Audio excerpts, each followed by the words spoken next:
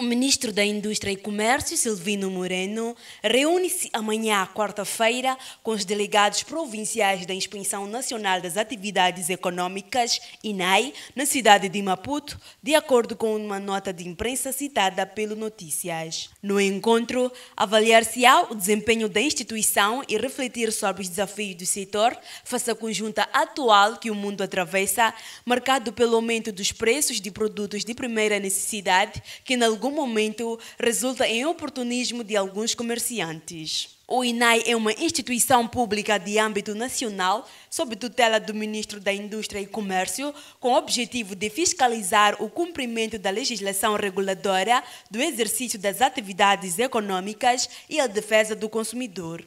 Importa referir que Silvino Moreno alertou recentemente que o aumento dos preços dos produtos domésticos não deve ser acompanhado de oportunismo por parte dos agentes econômicos, porque o governo não irá tolerar a fixação de preços que ultrapassem as margens de lucro previstas na legislação.